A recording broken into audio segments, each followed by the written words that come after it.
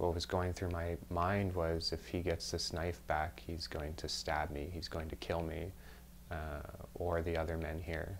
And I was, I was in fear for my life. And that's, that's when I made the decision to stab him once in the stomach.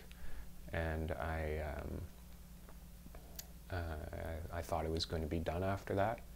And he was still coming after the knife and still reaching for the knife and still being aggressive and still coming and and uh, and then um, and then and then I stabbed him the second time.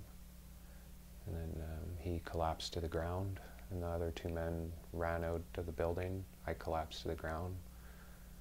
And then I was just screaming for help and checking on Aeneas and checking his pulse and and uh, just screaming at Aeneas like, why, why did you do this? And his family actually has gotten a hold of me and they've been saying very hateful things to me, which I understand. It's very confusing for them.